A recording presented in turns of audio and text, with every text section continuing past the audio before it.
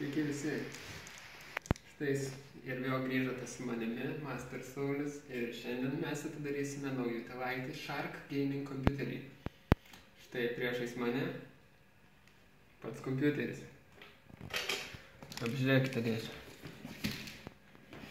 Jokio broko. Lyg tai.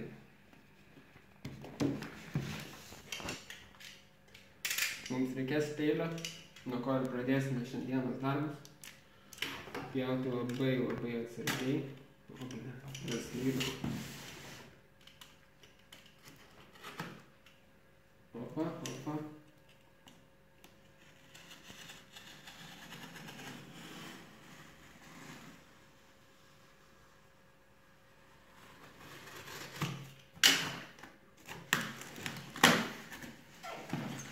Labai gerai.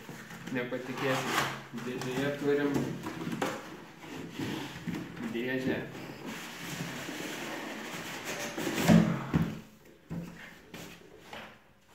Įgaliotinis.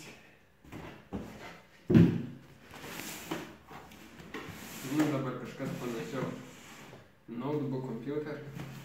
Enjoy with me. Tik viens pats gali žaisti.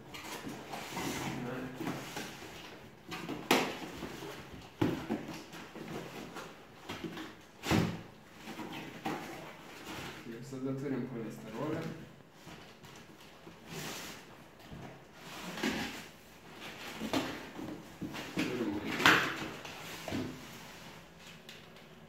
sempre con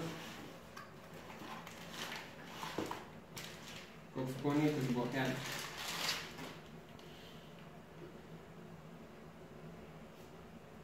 mm -hmm.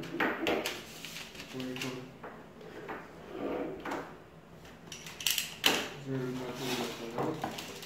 Turime bateriją. Atrodo labai nedidelė. Ir turime daugiau laidų.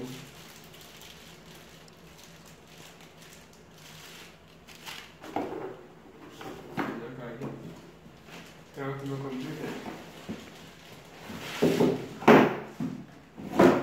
Tai dabar susirinkome. Daugiau